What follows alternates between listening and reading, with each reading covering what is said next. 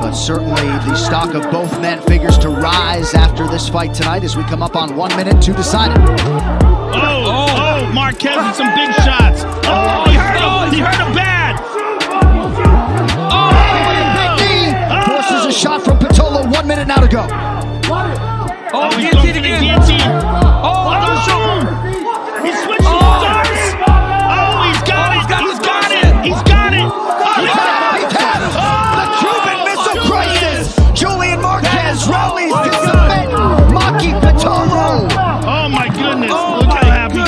Is.